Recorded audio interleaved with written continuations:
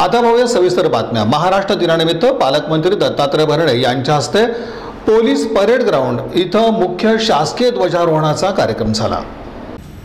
विकासाकडे वाटचाल करत असलेल्या सोलापूर जिल्ह्यात सर्वांच्या सहकार्यानं जिल्ह्याचा सर्वंकष विकास घडवून आणण्याचा प्रयत्न केला जात आहे.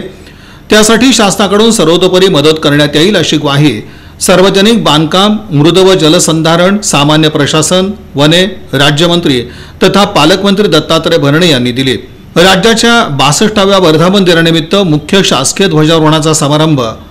पोलीस परेड ग्राउंड इथं पालकमंत्री दत्तात्रय भरणे यांच्या हस्ते झाला. त्याप्रसंगी ते मार्गदर्शन करत होते.